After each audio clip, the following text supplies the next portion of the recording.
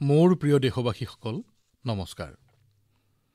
আমাৰ দেশখনে কিদৰে পূৰ্ণ শক্তিৰে কভিড নাইণ্টিনৰ বিৰুদ্ধে যুঁজ দিছে সেয়া আমি প্ৰত্যক্ষ কৰিছো যোৱা এশ বছৰৰ ভিতৰত এইটোৱেই সবাতোকৈ ব্যাপক মহামাৰী আৰু এই মহামাৰীৰ মাজতো আমি আন বহুতো প্ৰাকৃতিক দুৰ্যোগৰো সাহসেৰে মোকাবিলা কৰিছো। এই সময়ছোৱাত আমফান আৰু নিসৰ্গ ঘূৰ্ণী আহিছে কেইবাখনো ৰাজ্যত বানৰ তাণ্ডৱ চলিছে আৰু বহুতো ভূমিকম্প আৰু ভূমিস্খলনো হৈছে। যোৱা দহ দিনত দেশখন দুটা ডাঙৰ ঘূৰ্ণীৰ সন্মুখীন হৈছে। পশ্চিম উপকূলত টাউতে আৰু পূব উপকূলত ইয়াছ। এই দুটা ঘূৰ্ণীয়ে কেইবাখনো ৰাজ্যক প্ৰভাৱিত কৰিছে। দেশ আৰু দেশবাসীয়ে এই ধুমুহাৰ বিৰুদ্ধে পূৰ্ণ শক্তিৰে যুঁজ দিছে আৰু কমসংখ্যক প্ৰাণহানি নিশ্চিত কৰিছে আমি অনুভৱ কৰিছো যে পূৰ্বৰ তুলনাত এতিয়া অধিক লোকৰ প্ৰাণ আৰু সম্পত্তি ৰক্ষা কৰা সম্ভৱ হৈছে। এই বিপদসংকুল পৰিস্থিতিৰ মাজত ঘূৰ্ণীবতাহৰ প্ৰভাৱিত ৰাজ্যসমূহৰ জনসাধাৰণে যি সাহস ধৈৰ্য আৰু অনুশাসনৰ পৰিচয় দিছে তাৰ বাবে মই নাগৰিকসকলক হৃদয়েৰে প্ৰশংসা কৰিছো। যিসকলে আগবাঢ়ি আহি উদ্ধাৰ আৰু সাহায্য কাৰ্যত ব্ৰতী হৈছে তেওঁলোকক শব্দেৰে প্ৰশংসা কৰিব নোৱাৰি। মই তেওঁলোক সকলোকে অভিবাদন জনাইছো। কেন্দ্ৰ চৰকাৰ ৰাজ্য চৰকাৰ আৰু স্থানীয় প্ৰশাসন সকলোৱে একত্ৰিত হৈ এই দুৰ্যোগৰ সন্মুখীন হৈছে। যিসকলে নিজৰ প্ৰিয়জনক হেৰুৱাইছে মই তেওঁলোকৰ প্ৰতি সমবেদনা জ্ঞাপন কৰিছো। এই সংকটৰ সময়ত আমি সকলোৱে ক্ষতিগ্ৰস্ত লোকসকলৰ সৈতে একেলগে থিয় দিছো মোৰ মৰমৰ দেশবাসীসকল প্ৰত্যাহ্বান যিমানেই ডাঙৰ নহওক কিয় ভাৰতৰ বিজয় সংকল্পও সিমানেই দৃঢ়। দেশৰ সামূহিক শক্তি আৰু আমাৰ সেৱাৰ মনোভাৱে দেশখনক প্ৰতিটো ধুমুহাৰ পৰা ৰক্ষা কৰিছে। শেহতীয়াকৈ আমি দেখিবলৈ পাইছো কিদৰে আমাৰ চিকিৎসক নাৰ্চ আৰু সন্মুখৰ শাৰীৰ যোদ্ধাসকলে নিজৰ বাবে চিন্তা নকৰি দিনেৰাতিয়ে কাম কৰি আছে এওঁলোকৰ বহুলোকৰে কৰোনা মহামাৰীৰ দ্বিতীয় ঢৌৰ বিৰুদ্ধে যুঁজত অতুলনীয় ভূমিকা আছে। মন কী বাতৰ বহু শ্ৰোতাই মোক নমো এপ আৰু পত্ৰৰ জৰিয়তে এই যোদ্ধাসকলৰ বিষয়ে আলোচনা কৰাৰ অনুৰোধ জনাইছে। বন্ধুসকল দ্বিতীয় ঢৌৰ অহাৰ লগে লগে অক্সিজেনৰ চাহিদা বহুগুণে বৃদ্ধি হোৱাটো এক প্ৰত্যাহ্বান হৈ পৰিছে দেশৰ দূৰদুৰণিলৈ চিকিৎসা অক্সিজেন প্ৰেৰণ কৰাটো এক প্ৰত্যাহ্বানজনক বিষয়। অক্সিজেন টেংকাৰ চলাচলত সামান্য ত্ৰুটি হলে বৃহৎ বিস্ফোৰণৰ আশংকা থাকে। ঔদ্যোগিক অক্সিজেন উৎপাদন কৰা বহু উদ্যোগ দেশৰ পূব অৱস্থিত আৰু তাৰ পৰা আন ৰাজ্যলৈ অক্সিজেন প্ৰেৰণ কৰোঁতে কেইবাদিনো সময় লাগে দেশৰ সন্মুখত এই প্ৰত্যাহ্বানৰ সন্মুখীন হোৱাত আমাক সহায় কৰিছে ক্ৰায়জেনিক টেংকাৰ চালক অক্সিজেন এক্সপ্ৰেছ আৰু বায়ু সেনাৰ বৈমানিকসকলে। এনে বহু লোকে যুদ্ধকালীন ক্ষীপ্ৰতাৰে কাম কৰি দেশৰ হাজাৰ লাখ লোকৰ জীৱন ৰক্ষা কৰিছে। আজি মন কী বাতত তেনে এজন ব্যক্তিৰ সৈতে সংযোগ হৈছো। তেওঁ হৈছে উত্তৰ প্ৰদেশৰ জৌনপুৰৰ বাসিন্দা শ্ৰীমান দীনেশ উপাধ্যায়। দীনেশজী নমস্কাৰ। প্ৰণাম মহোদয় প্ৰথমে মই আপোনাৰ বিষয়ে জানিব বিচাৰিছো। ছাৰ মোৰ নাম দীনেশ বাবুলনাথ উপাধ্যায়। মই জৌনপুৰ জিলাৰ জামুৱা ডাকঘৰ এলেকাৰ হচনপুৰ গাঁৱৰ বাসিন্দা উত্তৰ প্ৰদেশৰ হয়নে? হয় হয় ছাৰ। ঠিক আছে। আৰু ছাৰ মোৰ ঘৰত পিতৃমাতৃ পত্নী এজন পুত্ৰ আৰু দুগৰাকী কন্যা আছে। আপুনি কি কৰে ছাৰ মই অক্সিজেন টেংকাৰ চলাওঁ তৰল অক্সিজেনৰ। লৰাছোৱালীৰ পঢ়াশুনা ঠিকমতে হৈ আছেনে? হয় ছাৰ তেওঁলোকৰ পঢ়াশুনা ঠিকেই চলি আছে। তেওঁলোকৰ অনলাইন পঢ়াশুনাও ঠিকমতে চলিছেনে? হয় ছাৰ অনলাইন মাধ্যমেৰে পঢ়াশুনা কৰি আছে। ছাৰ মোৰ অক্সিজেন টেংকাৰ চলোৱা প্ৰায় ১৭ বছৰ হৈ গল। বৰ ভাল। আপুনি ইমান বছৰে অক্সিজেন যোগান ধৰিছে আপুনি কেৱল এজন ট্ৰাক ড্ৰাইভাৰ নহয় আপুনি লাখ লাখ লোকৰ জীৱন ৰক্ষাত নিয়োজিত ছাৰ আমাৰ কামেই এনে আমাৰ অক্সিজেন টেংকাৰ আইএনঅএক্স কোম্পানীয়েও জনসাধাৰণৰ বিষয়ে চিন্তা কৰে আৰু যেতিয়া আমি অক্সিজেন যোগান ধৰো তেতিয়া আমাৰ হৃদয়ত এক প্ৰশান্তিৰ ভাৱ আহে। কিন্তু এতিয়া কৰোনাৰ সময়ত আপোনাৰ দায়িত্ব যথেষ্ট বৃদ্ধি পাইছে নহয়নে? হয় ছাৰ যথেষ্ট বৃদ্ধি পাইছে এতিয়া আপুনি ট্ৰাকৰ চালকৰ আসনত বহি মনলৈ কি ভাৱ আহে? আগতকৈ বেলেগ অনুভৱ হয়নে? বহু চাপো অনুভৱ কৰে পৰিয়ালৰ চিন্তা কৰোনাৰ পৰিবেশ জনতাৰ দাবী কিমান যে কি নহয়নে? ছাৰ মোৰ অইন কোনো চিন্তা নহয়। মাথো এইটোৱে মনলৈ আহে যে মই যি কৰ্তব্য কৰোঁ সেয়া সময়মতে যদি কৰিব পাৰোঁ অৰ্থাৎ অক্সিজেন যোগান ধৰি যদি কাৰোবাৰ জীৱন ৰক্ষা কৰিব পাৰোঁ তেন্তে মনতে গৰ্ব অনুভৱ কৰোঁ। বৰ সুন্দৰকৈ আপুনি আপোনাৰ মনৰ ভাৱ প্ৰকাশ কৰিছে। বাৰু কওকচোন আজি এই মহামাৰীৰ সময়ত মানুহে আপোনাৰ কামৰ গুৰুত্ব নিশ্চয় উপলব্ধি কৰিছে। আগেয়ে হয়তো বুজি পোৱা নাছিল এতিয়া আপোনাৰ কামৰ প্ৰতি তেওঁলোকৰ দৃষ্টি সলনি হোৱা দেখিছেনে? হয় ছাৰ আগে আমাৰ অক্সিজেন চালকসকল ইপিনে সিপিনে যান জঁটত আবদ্ধ হ'ব লগা হৈছিল। পিছে এতিয়া প্ৰশাসনৰ লোকেও আমাক আহি সহায় কৰেহি। আৰু আমিও যলৈকে নাযাওঁ কিয় আমাৰ মনত এটা কথাই ক্ৰিয়া কৰি থাকে যে অতি শীঘ্ৰেই যাতে আমি গন্তব্যস্থানত উপনীত হৈ মানুহৰ জীৱন ৰক্ষা কৰিব পাৰোঁ। আমাৰ খাদ্য বা পানীয়ৰ যোগান হওক বা নহওক যিকোনো পৰিস্থিতিতে যাতে চিকিৎসালয়ত অক্সিজেন লৈ উপস্থিত হৈ চিকিৎসালয়ৰ কৰ্মী আৰু ৰোগীসকলৰ আত্মীয়ৰ ভি চিনৰ সংকেত পাওঁ। ভিক্ট্ৰিক ভি বুলি কোৱা হয় নহয়নে? হয় ছাৰ কোনোবাই ভি বুলি কয় কোনোবাই আঙুলিৰে প্ৰকাশ কৰে। মনলৈ গভীৰ সন্তুষ্টি আহে এই ভাবি যে মই জীৱনত নিশ্চয় কোনো সৎ কাম কৰিছোঁ যাৰ বাবে আজি এই ধৰণে জনসেৱা কৰাৰ সুযোগ পাইছোঁ। সকলো অৱসাদ দূৰ হৈ যায় চাগে। হয় ছাৰ। ঘৰলৈ আহি আপুনি ল'ৰা ছোৱালীহঁতক এই কথাবোৰ কয় বোধ কৰোঁ। নহয় ছাৰ। ল'ৰা ছোৱালী গাঁৱৰ ঘৰত থাকে। মই ইয়াত আইনক্স এয়াৰ প্ৰডাক্ট কোম্পানীত চালকৰ কাম কৰোঁ। আঠ ন মাহমানৰ মূৰতহে ঘৰলৈ যাওঁ। কেতিয়াবা ফোনত কথা বতৰা হয়নে? হয় ছাৰ। সঘনাই হৈ থাকে। তেওঁলোকৰ মনত চাগে ভাৱ হয় যে তেওঁলোকৰ পিতৃ এনে সময়ত খুব সাৱধানে থকা উচিত। হয় ছাৰ। তেওঁলোকে কয় যে মই সাৱধানে থাকি নিজকে সুৰক্ষিত ৰাখি কাম কৰা উচিত। আৰু ছাৰ আমি নিজকে সুৰক্ষিত ৰাখিয়ে কাম কৰোঁ। আমাৰ মানগাঁৱত প্লাণ্ট আছে। আইনক্সে আমাৰ কৰ্মীসকলক যথেষ্ট সহায় কৰে। ভাল বাৰু দীনেশ মহাশয়। মোৰ বৰ ভাল লাগিল।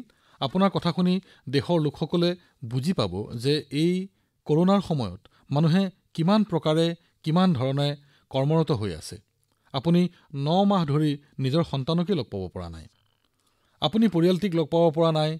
এইবাবেই যাতে অন্য মানুহৰ জীৱন ৰক্ষা হয়। যেতিয়া দেশবাসীয়ে এই কথা শুনিব তেওঁলোক গৰ্বিত হ'ব যে আমাৰ এই যুদ্ধত দীনেশ উপাধ্যায়ৰ দৰে লাখ লাখ মানুহে মন প্ৰাণ দি সংগ্ৰাম কৰিছে। ছাৰ আমি কৰোণাক এদিন হ'লেও নিশ্চয় পৰাজিত কৰিম। ভাল দীনেশ মহাশয় আপোনাৰ এই মনোভাৱ আমাৰ দেশৰ শক্তি। আপোনাক বহুত বহুত ধন্যবাদ আৰু আপোনাৰ সন্তানকেইটিক মোৰ হৈ আশীৰ্বাদ কৰিব। হয় ছাৰ। প্ৰণাম ছাৰ। ধন্যবাদ। বন্ধুসকল দীনেশ মহাশয়ে কোৱাৰ দৰে এজন টেংকাৰ ড্ৰাইভাৰ অক্সিজেন লৈ হস্পিটেলত উপস্থিত হলে তেওঁক এজন ঈশ্বৰে পঠোৱা দূত যেনেই লাগে। আমি বুজিব পাৰোঁ যে এয়া অতি দায়িত্বপূৰ্ণ এটি কাম আৰু এই কামত অতিপাত মানসিক চাপো থাকে। বন্ধুসকল অক্সিজেন সৰবৰাহ সুচল কৰাৰ বাবে ভাৰতীয় ৰেলো আগবাঢ়ি আহিছে। অক্সিজেন এক্সপ্ৰেছ অক্সিজেন ৰেল আদিয়ে পথেদি চলা অক্সিজেন টেংকাৰতকৈ বহু দ্ৰুতভাৱে আৰু বহু বেছি মাত্ৰাত দেশৰ বিভিন্ন প্ৰান্তলৈ অক্সিজেন সৰবৰাহ কৰিবলৈ ধৰিছে। আমাৰ আই আৰু ভগ্নীসকলে এই কথা জানি গৰ্বিত হ'ব যে এখন অক্সিজেন এক্সপ্ৰেছ চালনাৰ দায়িত্বত সম্পূৰ্ণভাৱে মহিলা জড়িত হৈ আছে। প্ৰত্যেক ভাৰতীয়ই এই কথাত গৰ্ববোধ কৰিব। মই অক্সিজেন এক্সপ্ৰেছৰ এগৰাকী লোকো পাইলট শিৰিষা গজনী মহাশয়াক মন কী বাতলৈ আমন্ত্ৰণ জনাইছোঁ। শিৰিষা মহাশয়া নমস্কাৰ। নমস্কাৰ ছাৰ। কেনে আছে ছাৰ? অ, মই ভালে আছোঁ। শিৰিষা মহাশয়া মই শুনিছোঁ আপুনি ৰেলৱে পাইলট হিচাপে কাম কৰি আছে আৰু মোক কোৱা হৈছে যে আপোনালোকৰ মহিলা গোটে অক্সিজেন এক্সপ্ৰেছ চলাই আছে। শিৰিষা মহাশয়া আপুনি সুন্দৰ কাম কৰি আছে। কৰোণা কালত আপোনাৰ দৰে অনেক মহিলাই আগবাঢ়ি আহি কৰোণাৰ সৈতে যুঁজিবলৈ দেশক সাহস দিছে। আপুনি নাৰী শক্তিৰ এটা বহুত ডাঙৰ উদাহৰণ। কিন্তু দেশে জানিব বিচাৰিছে মই জানিব বিচাৰিছোঁ আপুনি এই মটিভেশ্যন ক'ৰ পৰা পাইছে? ছাৰ মোৰ মটিভেশ্যন মোৰ মা দেউতাৰ পৰা পাইছোঁ। মোৰ দেউতা চৰকাৰী চাকৰিয়াল। মোৰ দুগৰাকী বাইদেউ আছে। আমি তিনিগৰাকী বাই ভনী কিন্তু দেউতাই সদায় আমাক কাম কৰিবলৈ উদ্দীপনা দিয়ে। মোৰ প্ৰথম বাইদেউগৰাকী বেংকত কাম কৰে আৰু মই ৰেলৱেত। মোৰ মা দেউতাই সদায় উৎসাহ দিয়ে। ঠিক আছে শিৰিষা মহাশয়া। আপুনি এইহেন দিনত আপোনাৰ সেৱা ৰেলৱেত আগবঢ়াই আছে। স্বাভাৱিকভাৱে আপুনি ৰেল চলায় কিন্তু যেতিয়া এফালে অক্সিজেনৰ নাটনি হয় আৰু যেতিয়া আপুনি অক্সিজেন লৈ যায় তেতিয়া ই দায়িত্বভৰা কাম হৈ পৰে। সামান্য বস্তু লৈ যোৱা বেলেগ কথা। অক্সিজেন বৰ দৰকাৰী। যেতিয়া লৈ যায় কেনে অনুভৱ হয় আপোনাৰ? মই সুখ অনুভৱ কৰি কাম কৰিবৰ বাবে বিশেষকৈ অক্সিজেন দিয়াৰ সময়ত সুৰক্ষা লিকেজ আদি ভালদৰে চাওঁ। ইণ্ডিয়ান ৰেলৱেও বহুত সহায় কৰে ছাৰ। এই অক্সিজেন লৈ যোৱাৰ বাবে মোক সেউজ পথ দিয়াৰ বাবে ডেৰ ঘণ্টাত এশ পঁচিছ কিলোমিটাৰ অতিক্ৰম কৰিবলৈ সমৰ্থ হ'লো। ৰেলৱেও দায়িত্ব ল'লে ময়ো দায়িত্ব ল'লোঁ ছাৰ। ৱাহ! শিৰিষা মহাশয়া আপোনাক অভিনন্দন জনাইছোঁ লগতে আপোনাৰ মা দেউতাকো বিশেষভাৱে প্ৰণাম জনাইছোঁ যি তিনিও বাই ভনীক ইমান প্ৰেৰণা দিলে আগবাঢ়ি যোৱাৰ বাবে। আৰু মই আপোনাৰ বাই ভনীকো প্ৰণাম জনালোঁ যি এনেধৰণৰ দেশ সেৱাত ব্ৰতী হৈ আছে। বহুত বহুত ধন্যবাদ শিৰিষা মহাশয়া ধন্যবাদ ছাৰ। আপোনাৰ আশীৰ্বাদ লাগে ছাৰ মোক। হ'ব পৰমাত্মাৰ আশীৰ্বাদ সদায় থাকিব। আপোনাৰ মা দেউতাৰ আশীৰ্বাদো থাকিব। ধন্যবাদ মহাশয়া ধন্যবাদ ছাৰ। বন্ধুসকল আমি এতিয়া শিৰিষা মহাশয়াৰ কথা শুনিলোঁ। তেখেতৰ অভিজ্ঞতাই প্ৰেৰণাও দিয়ে। আমাক আৱেগিকো কৰে। বাস্তৱত এই যুদ্ধ ইমান ডাঙৰ যে ৰেলৱেৰ দৰে আমাৰ দেশ জল স্থল আকাশ এই তিনিও পথেৰে কাম কৰি আছে। লগতে বিদেশৰ পৰা অক্সিজেন অক্সিজেন কনচেণ্ট্ৰেটাৰ্ছ আৰু ক্ৰায়জেনিক ট্ৰেকাৰ্ছো দেশলৈ লৈ অহা হৈছে। সেইবাবে ইয়াত নেভি এয়াৰফ'ৰ্চ আৰু আৰ্মীয়েও হাত আগবঢ়াই আছে। আৰু ডি আৰ ডি অ'ৰ দৰে সংস্থাও ইয়াত জড়িত হৈ আছে। আমাৰ বৈজ্ঞানিকসকল উদ্যোগৰ বিশেষজ্ঞসকল আৰু টেকনিচিয়ানসকল যুদ্ধকালীন ক্ষিপ্ৰতাৰে তেওঁলোকে কাম কৰি আছে। এইসকল ব্যক্তিৰ কামৰ বিষয়ে জানিবলৈ বুজিবলৈ দেশবাসীৰ মনত সদায় জিজ্ঞাসা আছে। সেইবাবে আমাৰ লগত বায়ুসেনাৰ গ্ৰুপ কেপ্টেইন পাটনায়ক সংযুক্ত হৈছে। পাটনায়ক ডাঙৰীয়া জয় হিন্দ। ছাৰ জয় হিন্দ। ছাৰ মই group captain A K Patnaik বায়ুসেনা ষ্টেচন হিন্দনৰ পৰা কথা কৈ আছোঁ। পাটনায়ক ডাঙৰীয়া কৰোণাৰ সৈতে এই যুদ্ধৰ সময়ত আপুনি বেছ গুৰুদায়িত্ব পালন কৰি আছে। মই জানিব বিচাৰিছোঁ এজন সৈনিক হিচাপে এক বেলেগ ধৰণৰ কাম আপুনি কৰিছে। মৰিবলৈ মাৰিবলৈ দৌৰিব লাগে। আজি আপুনি জীৱন বচাবলৈ দৌৰি আছে। কেনে অনুভৱ হৈছে আপোনাৰ? ছাৰ এই সংকটৰ সময়ত আমাৰ দেশবাসীক সহায় কৰিব পৰাটো আমাৰ বাবে বহুত সৌভাগ্যৰ কাম। আৰু হয় ছাৰ যি যি মিছন পাই আছোঁ তাক সফলভাৱে ৰূপায়ণ কৰি আছোঁ। আমাৰ যি ট্ৰেইনিং আৰু ছাপৰ্ট ছাৰ্ভিচ আছে আমাক পূৰ্ণোদ্যমে সহায় কৰি আছে আৰু আটাইতকৈ ডাঙৰ কথাটো হ'ল ছাৰ ইয়াৰ পৰা যি আমি জব ছেটিছফেকশ্যন পাওঁ বা পাই আছোঁ সি বহুত উচ্চ খাপৰ। এইকাৰণেই আমি কণ্টিনিউৱাছ অপাৰেশ্যন কৰিবলৈ সক্ষম হৈছোঁ। কেপ্টেইন আপুনি এই দিনবোৰত যি যি প্ৰয়াস কৰি আছে আৰু খুব কম সময়তে সকলোবোৰ কৰিব লগা হৈছে এই দিনকেইটাত আপোনাৰ অনুভৱ কেনে? ছাৰ যোৱা এমাহ ধৰি একেৰাহে অক্সিজেন টেংকাৰ আৰু liquid oxygen container domestic destination আৰু ইণ্টাৰনেশ্যনেল ডেষ্টিনেশ্যন দুই ঠাইৰ পৰা উঠাই আছোঁ ছাৰ। প্ৰায় ষোল্লশ চৰ্টিজৰ অধিক এয়াৰফ'ৰ্চে কৰিলে আৰু তিনি হাজাৰৰ অধিক ঘণ্টা আমি উৰণ সমাপ্ত কৰিলোঁ। প্ৰায় এশ ষাঠিটা ইণ্টাৰনেশ্যনেল মিছনৰ কাম শেষ কৰিলোঁ। যাৰ বাবে আমি সকলো ঠাইৰ পৰা অক্সিজেন টেংকাৰে যি কাম আগতে দুই তিনিদিন ধৰি কৰিছিল আমি সেইখিনি কাম দুই তিনি ঘণ্টাত এঠাইৰ পৰা অন্য ঠাইলৈ লৈ যাবলৈ সক্ষম হ'লোঁ। আৰু ইণ্টাৰনেশ্যনেল মিছনত চৌব্বিছ ঘণ্টা নিৰবিচ্ছিন্নভাৱে কাম কৰিলোঁ। গোটেই এয়াৰফ'ৰ্চেই এই কামত নিয়োজিত হ'ল।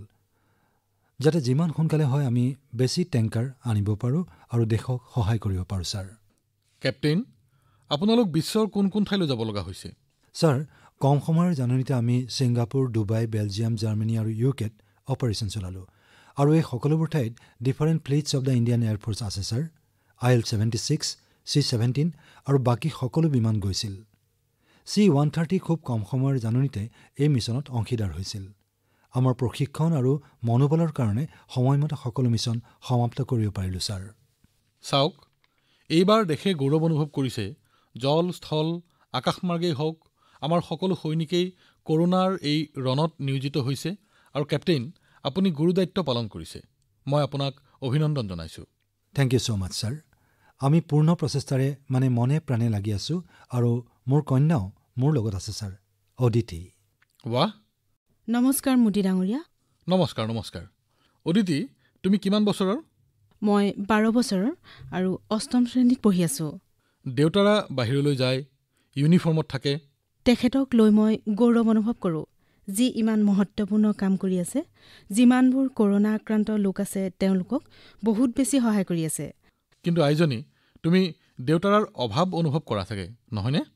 হয় আজিকালি তেওঁক প্ৰায় লগ নাপাওঁৱেই কাৰণ তেওঁ প্ৰায়ে কণ্টেইনাৰ টেংকাৰ আদিলৈ আন্তঃৰাষ্ট্ৰীয় বিমান ভ্ৰমণ কৰি থাকে। সময়ত সেইবোৰ প্ৰডাকশ্যন প্লাণ্ট পোৱালেহে কৰোণা আক্ৰান্তসকলে প্ৰয়োজন অনুসৰি অক্সিজেন পাব আৰু তেওঁলোকৰ জীৱন সুৰক্ষিত হ'ব। তোমাৰ লগৰ ল'ৰা ছোৱালীবোৰে যেতিয়া গম পায় তোমাৰ দেউতাৰা অক্সিজেন সেৱাৰ লগত জড়িত হৈ আছে নিশ্চয় তোমাক চেনেহৰ চকুৰে চায়। হয় মোৰ বন্ধুবোৰে যেতিয়া কয় তোমাৰ দেউতাই ইমান গুৰুত্বপূৰ্ণ কাম কৰি আছে মোৰ গৌৰৱ অনুভৱ হয়। মোৰ মা ককা আইতা আৰু পৰিয়ালৰ আটাইয়ে দেউতাক লৈ গৰ্ববোধ কৰে। মোৰ মা আৰু পৰিয়ালৰ কেইবাজনো চিকিৎসক তেওঁলোকেও দিনে ৰাতিয়ে কৰোণাৰ বিৰুদ্ধে যুঁজ কৰি আছে। মোৰ দেউতাৰ স্কোৱাড্ৰনৰ সকলোৱে আৰু সৈন্য বাহিনীৰ সকলো লোকে দিনে ৰাতিয়ে কাম কৰি আছে। কৰোণাৰ বিৰুদ্ধে এই যুঁজখনত আমি নিশ্চয় জয়ী হ'ম। কোৱা হয় ছোৱালীৰ মুখৰ কথাত সৰস্বতী লাগ দিয়ে। অদিতিয়ে যেতিয়া কৈছে আমি নিশ্চয় এইখন যুঁজত জিকিম। সেয়া এক প্ৰকাৰে ঈশ্বৰৰ বাণীৰ নিচিনাই হৈছে। অদিতি এতিয়া নিশ্চয় অনলাইন পঢ়া শুনা চলি আছে? হয়। কিবা কাৰণত ঘৰৰ পৰা ওলালেও আমি দুখনকৈ মাস্ক পিন্ধিহে ওলাওঁ। বাৰু তোমাৰ হবি কি? মোৰ হবি ছুইমিং আৰু বাস্কেটবল খেলা। পিছে এতিয়া কৰোণাৰ কাৰণে দুয়োটাই বন্ধ হৈ আছে। বৰ্তমান কুকিং আৰু বেকিং কৰিবলৈ লৈছোঁ। ইমানবোৰ কাম কৰি যেতিয়া দেউতা ঘৰলৈ আহে দেউতাৰ বাবে মই কেক কুকিজ আদি বনাই থওঁ। বাহ বঢ়িয়া। বহুত দিনৰ মূৰত তুমি দেউতাৰৰ সৈতে সময় কটাবলৈ পাইছা। তোমাৰ লগত কথা পাতি বৰ ভাল লাগিল। কেপ্টেইন আপোনাকো অভিনন্দন জনাইছোঁ। কেৱল আপোনাকেই নহয় স্থলসেনা নৌসেনা বায়ুসেনাৰ লগত জড়িত সকলো ব্যক্তিকে মই চেলিউট কৰিছোঁ। ধন্যবাদ। বন্ধুসকল আমাৰ জোৱানসকলে এই যোদ্ধাসকলে যিদৰে কাম কৰি আছে তাৰ বাবে দেশে তেওঁলোকক চেলিউট কৰিছে। এইদৰে লাখ লাখ লোক দিনে ৰাতিয়ে লাগি আছে। এই কামবোৰ তেওঁলোকৰ দৈনন্দিন কাম নাছিল। এনেকুৱা দুৰ্যোগ পৃথিৱীলৈ এটা শতিকাৰ পাছত আহিছে।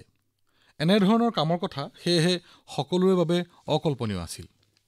কেৱল দেশ সেৱাৰ মনোভাৱ আৰু সংকল্প শক্তিৰ বাবেই দেশৰ লোকে এনেদৰে কাম কৰিব পাৰিছে। আগতে দৈনিক অক্সিজেন উৎপাদন হৈছিল নশ মেট্ৰিক টন। এতিয়া এই পৰিমাণ দহ গুণতকৈও অধিক হৈছে। দৈনিক ন হাজাৰ পাঁচশ মেট্ৰিক টন। এই অক্সিজেন আমাৰ যোদ্ধাসকলে দূৰ দূৰণিলৈ কঢ়িয়াই লৈ গৈছে। মোৰ প্ৰিয় দেশবাসী অক্সিজেন বিতৰণৰ কামত ইমানবিলাক ব্যক্তি একগোট হৈ কাম কৰি আছে সেই কথাটোৱে সকলো নাগৰিককে প্ৰেৰণা যোগায়। মোক বাংগালুৰুৰ পৰা টেলিফোনেৰে শ্ৰীমতী উৰ্মিলাই জনাইছে তেওঁৰ স্বামী লেব টেকনিচিয়ান আৰু যথেষ্ট কষ্টেৰে দিনে নিশাই টেষ্টিং কৰি গৈছে। বন্ধুসকল কৰোণাৰ আৰম্ভণিতে আমাৰ দেশত মাত্ৰ এটাই টেষ্টিং লেব আছিল আৰু এদিনত তাত মাত্ৰ এশটা টেষ্ট কৰিব পৰা হৈছিল। এতিয়া আঢ়ৈ হাজাৰতকৈও অধিক লেবত দৈনিক বিছ লাখতকৈও বেছি টেষ্ট কৰা হয়। এতিয়ালৈকে দেশত তেত্ৰিছ কোটিতকৈও অধিক টেষ্ট কৰা হৈছে। ইমান ডাঙৰ কাৰ্য সম্ভৱ হৈ উঠিছে কেৱল এইসকল কৰ্মীৰ অক্লান্ত প্ৰচেষ্টাৰ বাবে। আক্ৰান্ত ব্যক্তিৰ ওচৰলৈ গৈ নমুনা সংগ্ৰহ কৰা এয়া ডাঙৰ সেৱা। ইমান গৰমতো এই কৰ্মীসকলে একেৰাহে পি পি ই কিট পৰিধান কৰি থাকিব লগা হয়। ইয়াৰ পাছত নমুনাবোৰ লেবলৈ পঠিওৱা হয়। সেয়েহে মই ভাবিলোঁ এখেতসকলৰ বিষয়েও অলপ আলোচনা কৰা উচিত। আহকচোন দিল্লীত লেব টেকনিচিয়ান ৰূপে কৰ্মৰত প্ৰকাশ কান্দপাল ডাঙৰীয়াৰ সৈতে কথা পাতোঁ। প্ৰকাশ ডাঙৰীয়া নমস্কাৰ। নমস্কাৰ মাননীয় প্ৰধানমন্ত্ৰী ডাঙৰীয়া। প্ৰকাশ ডাঙৰীয়া প্ৰথমতে মন কী বাতৰ শ্ৰোতাসকলক আপোনাৰ বিষয়ে কওকচোন। আপুনি কেতিয়াৰ পৰা এই কাম কৰি আছে আৰু কৰোণাৰ সময়ছোৱাত আপোনাৰ অভিজ্ঞতা কেনেধৰণৰ? আপোনালোকৰ কামৰ কথা দেশৰ জনগণে টেলিভিছন বা বাতৰি কাকতৰ জৰিয়তে জানিবলৈ নাপায়। তথাপি ঋষিৰ দৰে আপোনালোকে লেবৰ ভিতৰতে কাম কৰি থাকে। আপোনাৰ কথাৰ পৰা জনসাধাৰণে জানিব পাৰিব দেশত কেনেদৰে কাম চলি আছে। মই দিল্লী চৰকাৰৰ অধীনৰ institute of liver and biliary sciences নামৰ চিকিৎসা প্ৰতিষ্ঠানৰ যোৱা দহ বছৰে লেব টেকনিচিয়ান হিচাপে কাম কৰি আছোঁ। স্বাস্থ্য ক্ষেত্ৰত মই বাইছ বছৰ ধৰি কাম কৰিছোঁ। ইয়াৰ আগতে মই Apollo' hospital Rajiv Gandhi cancer hospital Rotary blood bank আদিত কাম কৰিছিলোঁ। আগতে মই ৰক্তকোষ বিভাগত কাম কৰিছিলোঁ। কিন্তু যোৱা দুহেজাৰ বিছ চনৰ এক এপ্ৰিলৰ পৰা মই আই এল বি এছৰ ভাইৰলজি ডিপাৰ্টমেণ্টৰ অধীনত ক'ভিড টেষ্টিং লেবত কাম কৰি আছোঁ। নিঃসন্দেহে ক'ভিড মহামাৰীৰ সময়ত স্বাস্থ্যসেৱাৰ সংগঠনসমূহৰ ওপৰত অত্যধিক হেঁচা পৰিছে। কিন্তু মই ব্যক্তিগতভাৱে অনুভৱ কৰিছোঁ এই সময়ত আমি সমাজৰ প্ৰতি ৰাষ্ট্ৰৰ প্ৰতি অধিক দায়বদ্ধতাৰে আমাৰ সেৱা আগবঢ়োৱাৰ সুযোগ পাইছোঁ। যদিও আমাৰ এই অৰিহণা অতি ক্ষুদ্ৰ তথাপি সমাজে বিচৰাৰ দৰে সেৱা আগবঢ়াব পাৰি মই গৌৰৱবোধ কৰিছোঁ। কেতিয়াবা পৰিবাৰে আশংকা প্ৰকাশ কৰিলে কওঁ সেনাবাহিনীৰ লোকসকলেতো সদায় পৰিয়ালৰ পৰা আঁতৰত সীমান্তত থাকি বিষম পৰিস্থিতিৰ মাজত দেশক ৰক্ষা কৰি আহিছে। তেওঁলোকৰ তুলনাত আমাৰ অৰিহণা তেনেই নগণ্য। তেওঁ এতিয়া সেই কথা বুজি সহযোগ কৰিছে। প্ৰকাশ ডাঙৰীয়া চৰকাৰে কৰোণাৰ সময়ত সকলোকে দূৰে দূৰে থাকিবলৈ আহ্বান জনাইছে। আপোনালোকে এনে সময়তো একেবাৰে বীজাণুৰ মাজতে সোমাই থাকিব লগা হৈছে। এনেস্থলত পৰিবাৰ চিন্তিত হোৱাটো স্বাভাৱিক। কিন্তু আপোনালোক এই ক্ষেত্ৰত সাৱধান কেনেদৰে হয়? কামৰ সময়ো নিশ্চয় বহুত বাঢ়ি গৈছে। কাৰণ কোটি কোটি লোকৰ নমুনা পৰীক্ষা কৰিব লগা হৈছে। নিশ্চয় সাৱধান হওঁ ছাৰ। আমাৰ আই এল বি এছ বিশ্ব স্বাস্থ্য সংস্থাৰ দ্বাৰা অনুমোদিত মানৰ। আমি আন্তঃৰাষ্ট্ৰীয় মানৰ প্ৰট'কল মানি চলোঁ। লেবলৈ যাওঁতে ত্ৰিস্তৰীয় পোছাক পৰিধান কৰি লওঁ। তেনেকৈ তাত কাম কৰোঁ। আৰু সেইবিলাক বৰ্জনৰ ক্ষেত্ৰত লেবেল লগোৱা আৰু তাৰ পৰীক্ষাৰ এক প্ৰট'কল আছে। আৰু সেই প্ৰট'কল মানি আমি কাম কৰোঁ। এয়া ভগৱানৰে কৃপা যে মোৰ পৰিয়াল তথা মোৰ সংস্পৰ্শত থকা বহু ব্যক্তি এতিয়াও এই সংক্ৰমণৰ পৰা বাচি আছে। যদি আপুনি সাৱধানে থাকে তেনেহ'লে ইয়াৰ পৰা আপুনিও হাত সাৰি থাকিব পাৰে। প্ৰকাশ মহোদয় বিগত এটা বছৰে আপোনাকে ধৰি হাজাৰ হাজাৰ লোকে পৰীক্ষাগাৰত বহুখিনি বিপদৰ সৈতে কাম কৰি আছে। ইমান মানুহৰ প্ৰাণ ৰক্ষাৰ বাবে কাম কৰি আছে। প্ৰকাশ মহাশয় মই আপোনাৰ জৰিয়তে আপোনাৰ সহকৰ্মীসকলক আন্তৰিক অভিনন্দন জনাইছো। দেশবাসীৰ হৈ ধন্যবাদ জ্ঞাপন কৰিছো। আপোনালোক সুস্বাস্থ্যৰ অধিকাৰী হৈ থাকক। আপোনালোকৰ পৰিয়াল ভালে কুশলে থাকক। মই বহুতো শুভকামনা জনালোঁ। ধন্যবাদ প্ৰধানমন্ত্ৰী মহোদয়। এইখিনি সুবিধা দিয়াৰ বাবে আপোনাৰ ওচৰত মই কৃতজ্ঞ। ধন্যবাদ। বন্ধুসকল যদিও মই কথাখিনি প্ৰকাশ মহোদয়ৰ সৈতেহে পাতিছোঁ কিন্তু তেওঁৰ জৰিয়তে হাজাৰ হাজাৰ লেব টেকনিচিয়ানৰ সেৱাৰ উমান আমি পাইছোঁ। এই বাৰ্তালাপৰ জৰিয়তে হাজাৰ হাজাৰ লোকৰ সেৱাভাৱ দেখাৰ লগতে ই আমাক আমাৰ দায়িত্বৰ কথাও সোঁৱৰাই দিয়ে। কষ্ট আৰু একাগ্ৰতাৰে প্ৰকাশ মহাশয়ৰ দৰে আমাৰ বন্ধুসকলে কাম কৰি আছে। তেওঁলোকৰ নিষ্ঠা আৰু সহযোগে কৰোণা প্ৰতিহত কৰাত সহায় আগবঢ়াব। প্ৰিয় দেশবাসী আমি আমাৰ কৰোণা যোদ্ধাসকলৰ বিষয়ে কথা পাতি আছো। বিগত ডেৰটা বছৰত আমি তেওঁলোকৰ পৰিশ্ৰম আৰু সেৱাৰ মনোভাৱ দেখিছো। কিন্তু এই যুদ্ধত দেশৰ আন বহুতো ক্ষেত্ৰৰ যোদ্ধাৰ অৱদান আছে। আপুনি চিন্তা কৰকচোন দেশলৈ ইমান ডাঙৰ সংকট আহিছে। ইয়াৰ প্ৰভাৱ দেশৰ সকলো ক্ষেত্ৰতে পৰিছে। কৃষি ব্যৱস্থা এই ক্ষেত্ৰত বহুখিনি সুৰক্ষিত হৈ আছে। কেৱল সুৰক্ষিতই নহয় প্ৰগতিৰ দিশেও আগবাঢ়িছে। আপুনি জানেনে এই মহামাৰীৰ সময়ত কৃষকসকলে অভিলেখ সংখ্যক উৎপাদন কৰিছে লগতে শস্য বিক্ৰীও কৰিছে। বহু ঠাইত কৃষকসকলে সৰিয়হৰ বাবেই এম এছ পি অৰ্থাৎ ন্যূনতম সমৰ্থন মূল্যতকৈও অধিক লাভ কৰিবলৈ সক্ষম হৈছে। অভিলেখ খাদ্য উৎপাদনৰ বাবেই আমাৰ দেশে এই জটিল পৰিস্থিতিত দেশবাসীক সুৰক্ষা প্ৰদান কৰিব পাৰিছে। দেশৰ এই সংকটকালত আশী কোটি দুখীয়া জনতাক বিনামূলীয়া ৰেচন প্ৰদান কৰিব পৰা হৈছে যাতে দুখীয়াৰ ঘৰত কোনেও ভোকত থাকিব লগা নহয়। বন্ধুসকল আজি আমাৰ দেশৰ কৃষকসকলে নতুন ব্যৱস্থাৰ সুবিধা লৈ উল্লেখযোগ্য কাম কৰি আছে। এতিয়া আগৰতলাৰ কৃষকসকললৈকে চাওক। এওঁলোকে বহু কঁঠাল উৎপাদন কৰিছে আৰু ইয়াৰ চাহিদা বিদেশৰ বজাৰতো আছে। সেইবাবেই এইবাৰ আগৰতলাৰ কৃষকসকলে ৰেলেৰে কঁঠাল গুৱাহাটীলৈ পঠিয়াইছে আৰু গুৱাহাটীৰ পৰা ইয়াক লণ্ডনলৈ পঠিওৱা হৈছে। আপোনালোকে বিহাৰৰ শ্বাহী লিচুৰ নাম নিশ্চয় শুনিছে। দুহেজাৰ ওঠৰ চনত চৰকাৰে শ্বাহী লিচুক জি আই টেগ প্ৰদান কৰিছে যাতে ইয়াৰ এক চিনাকি হয় আৰু কৃষকসকল ইয়াৰ দ্বাৰা লাভান্বিত হয়। এইবাৰ বিহাৰৰ এই শ্বাহী লিচুক উৰাজাহাজেৰে লণ্ডনলৈ ৰপ্তানি কৰা হৈছে। পূবৰ পৰা পশ্চিমলৈ উত্তৰৰ পৰা দক্ষিণলৈ আমাৰ দেশ সুস্বাদু উৎপাদনেৰে ভৰি আছে। দক্ষিণ ভাৰতৰ বিজয়নগৰৰ আমৰ বিষয়ে আপোনালোকে নিশ্চয় শুনিছে। এতিয়া এই আমনো কোনে খাবলৈ নিবিচাৰিব? সেয়েহে এতিয়া কিষাণ ৰেল যোগে অজস্ৰ টন বিজয়নগৰ আম দিল্লীলৈ প্ৰেৰণ কৰা হৈছে। দিল্লী আৰু উত্তৰ ভাৰতৰ লোকে এতিয়া বিজয়নগৰৰ আম খাবলৈ পাব। বিজয়নগৰৰ কৃষকৰ আয় বাঢ়িব। কিষাণ ৰেলে এতিয়ালৈকে প্ৰায় দুই লাখ টন উৎপাদিত সামগ্ৰী পৰিবহণ কৰিছে। কৃষকসকলে এতিয়া বহু কম মূল্যত ফল মূল আৰু শাক পাচলি দেশৰ অন্যান্য অঞ্চললৈ পঠিয়াব পৰা হৈছে। প্ৰিয় দেশবাসী আজি ত্ৰিছ মেত আমি ত্ৰিছতম মন কী বাত প্ৰচাৰ কৰি আছো আৰু এই দিনটোতে আমাৰ চৰকাৰে সাতটা বছৰ সম্পূৰ্ণ কৰিলে। এই বৰ্ষত দেশে সবকা সাথ সবকা বিকাশ সবকা বিশ্বাস এই মন্ত্ৰৰে আগবাঢ়ি আছে। দেশৰ প্ৰতি সেৱাৰ মনোভাৱেৰে আমি সকলোৱে কাম কৰিছো। বহু বন্ধুৱে মোলৈ পত্ৰ প্ৰেৰণ কৰিছে আৰু কৈছে মন কী বাতত আপোনাৰ আমাৰ এই যাত্ৰাৰ বিষয়েও যেন চৰ্চা হয়। বন্ধুসকল এই সাতটা বছৰত সকলো উপলব্ধি দেশৰ বাবে দেশবাসীৰ বাবে। বহুতো ৰাষ্ট্ৰীয় গৌৰৱৰ ক্ষণ এই বিগত বৰ্ষত আমি একেলগে উদযাপন কৰিছো। আমি যেতিয়া দেখো যে এতিয়া ভাৰত অন্য দেশৰ বিচাৰ বিবেচনা অথবা হেঁচাত নাই নিজৰ সংকল্পৰে আগবাঢ়িছে তেতিয়া আমি গৌৰৱ অনুভৱ কৰোঁ। যেতিয়া দেখো ভাৰতৰ বিপক্ষে ষড়যন্ত্ৰ কৰাসকলক উচিত প্ৰত্যুত্তৰ দিছে তেতিয়া আমাৰ আত্মবিশ্বাস বাঢ়ে। যেতিয়া ভাৰতে ৰাষ্ট্ৰীয় সুৰক্ষাৰ বিষয়ত কোনো আপোচ নকৰে যেতিয়া আমাৰ সেনাবাহিনীৰ শক্তি বৃদ্ধি হয় তেতিয়া এনে লাগে আমি উচিত পথেৰেই আগবাঢ়ি আছো।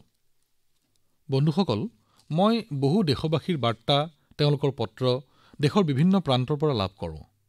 বহুতেই দেশক ধন্যবাদ জ্ঞাপন কৰে যে ৭০ বছৰৰ পিছত তেওঁলোকৰ গাঁৱত বিজুলীৰ সংযোগ হ'ল। তেওঁলোকৰ সন্তানে এতিয়া বিজুলীবাতিৰ পোহৰত বিজুলী বিচনীৰ তলত অধ্যয়ন কৰিছে। বহুতেই কয় এতিয়া আমাৰ গাঁও পকা ৰাস্তাৰে চহৰৰ সৈতে সংযোজিত হৈছে। মোৰ মনত আছে এক আদিবাসী অঞ্চলৰ কিছু বন্ধুৱে মোলৈ বাৰ্তা প্ৰেৰণ কৰিছিল যে ৰাস্তা নিৰ্মাণৰ পাছত প্ৰথমবাৰৰ বাবে তেওঁলোকৰ এনে লাগিছে যে অন্য পৃথিৱীৰ সৈতে তেওঁলোকৰ সংযোগ স্থাপন হৈছে। এনেধৰণে বহুতেই বেংকৰ একাউণ্ট খোলাৰ খবৰ ব্যক্ত কৰিছে। বহুতৰ আকৌ বিভিন্ন আঁচনিৰ জৰিয়তে নতুন সংস্থাপন আৰম্ভ হৈছে আৰু সেই আনন্দ উদযাপনৰ বাবে মোক নিমন্ত্ৰণ জনাইছে। প্ৰধানমন্ত্ৰী আৱাস যোজনাৰ জৰিয়তে নতুন গৃহ লাভ কৰাৰ পাছত গৃহপ্ৰৱেশৰ সময়ত বহুতেই মোক জনোৱা নিমন্ত্ৰণ লাভ কৰিয়ে আছো। বিগত সাতটা বছৰত কোটি কোটি জনতাৰ এনে আনন্দৰ মুহূৰ্তত ভাগ লোৱাৰ সুযোগ লাভ কৰিছো। কিছুদিন পূৰ্বে গাঁৱৰ এটি পৰিয়ালে জল জীৱন অভিযানৰ জৰিয়তে ঘৰত লগোৱা পানীৰ নলৰ এখন ফটো মোলৈ পঠাইছিল। সেই ফটোৰ কেপশ্যনত লিখা আছিল আমাৰ গাঁৱৰ জীৱনধাৰা। এনে কিমান যে পৰিয়াল আছে? স্বাধীনতাৰ পাছত সত্তৰৰ দশকত আমাৰ দেশৰ কেৱল চাৰে তিনি কোটি গাঁৱৰ ঘৰতহে পানীৰ সংযোগ আছিল। কিন্তু বিগত একৈশটা মাহত চাৰে চাৰি কোটি ঘৰত পৰিষ্কাৰ পানীৰ সংযোগ দিয়া হৈছে। ইয়াৰে পোন্ধৰ মাহ কৰোণা কালতে পাৰ হ'ল। এনেধৰণৰ এক নতুন বিশ্বাস আয়ুষ্মান আঁচনিৰ জৰিয়তেও আহিছে। যেতিয়া কোনো দুখীয়া লোকে বিনামূলীয়া চিকিৎসাৰে সুস্থ হৈ ঘৰলৈ উভতে তেতিয়া তেওঁলোকে নতুন জীৱন লাভ কৰা যেন অনুভৱ কৰে। দেশ তেওঁলোকৰ সৈতে আছে বুলি তেওঁলোকে বিশ্বাস কৰে। এনে বহু পৰিয়াল তথা মাতৃৰ আশীৰ্বাদেৰে আমাৰ দেশ বিকাশৰ দিশে অগ্ৰসৰ হৈ আছে। বন্ধুসকল বিগত সাতটা বছৰত ভাৰতে ডিজিটেল লেনদেনত এক নতুন দিশৰ সূচনা কৰিছে। আজি দেশৰ কোনো প্ৰান্তত অতি সহজেই আপুনি ডিজিটেল পেমেণ্ট কৰিব পাৰে। কৰোণা কালত এয়া আছিল সুফলদায়ক। আজি স্বচ্ছতাৰ প্ৰতি দেশবাসী সজাগ হৈছে। আমি অভিলেখ সংখ্যক উপগ্ৰহ প্ৰেৰণ কৰিবলৈ সক্ষম হৈছো আৰু অভিলেখ সংখ্যক পথ নিৰ্মাণ কৰিছো। বিগত সাতটা বছৰত অনেক পুৰণি বিবাদ মীমাংসা অতি শান্তিপূৰ্ণভাৱে সম্পন্ন হৈছে উত্তৰ পূবৰ পৰা কাশ্মীৰলৈকে শান্তিৰ এক বাতাৱৰণ গঢ়ি উঠিছে। বন্ধুসকল আপোনালোকে চিন্তা কৰিছেনে? যিসমূহ কাম বিগত দশকসমূহত সম্পন্ন নহল এই সাতটা বছৰত কিদৰে হল? এইবাবেই সম্ভৱ হল যে এই সাতটা বছৰত আমি চৰকাৰ আৰু জনতাতকৈ অধিক এখন দেশ হিচাপে কাম কৰিলো। প্ৰতিজন নাগৰিকে দেশক উন্নতিৰ দিশে এখোজ আগবঢ়াই নিবলৈ দলবদ্ধভাৱে টীম ইণ্ডিয়া হিচাপে কাম কৰি আছে য'ত সফলতা আছে তাত পৰীক্ষাও থাকে। বিগত সাতটা বছৰত আমি সকলোৱে একেলগ হৈ বহুতো কঠিন পৰীক্ষাৰ মুখামুখি হৈছো আৰু প্ৰতিবাৰেই আমি শক্তিশালী হৈ আগবাঢ়িছো। কৰোণা মহামাৰীৰ ৰূপত এই কঠিন পৰীক্ষা চলিয়েই আছে। এয়াতো এনে এক সংকট যিয়ে সমগ্ৰ বিশ্বক ব্যতিব্যস্ত কৰিছে। কিমানে যে আপোনজনক হেৰুৱাইছে। ডাঙৰ ডাঙৰ দেশো ইয়াৰ ধ্বংসৰ গৰাহৰ পৰা হাত সাৰি থাকিব পৰা নাই। এই বিশ্ব মহামাৰীত ভাৰত সেৱা আৰু সংকল্পৰে আগবাঢ়িছে আমি কৰোণাৰ প্ৰথম ঢৌত সাহসেৰে যুঁজিছিলো। এইবাৰো এই যুঁজত ভাৰত জয়ী হব। দুগজ দূৰত্ব মাস্কৰ সৈতে জড়িত নিয়ম আৰু ভেকচিন এয়াই আমাৰ জয়ৰ ৰাস্তা। অহাবাৰ মন কী বাতত আমি দেশবাসীৰ অনেক প্ৰেৰণাদায়ক অভিজ্ঞতাৰ বিষয়ে কথা পাতিম। এনেদৰেই আপুনি আপোনাৰ পৰামৰ্শ মোলৈ পঠিয়াই থাকিব। আপোনালোক সকলো সুস্থ থাকক দেশক এইদৰে আগুৱাই নিয়ক। বহুত বহুত ধন্যবাদ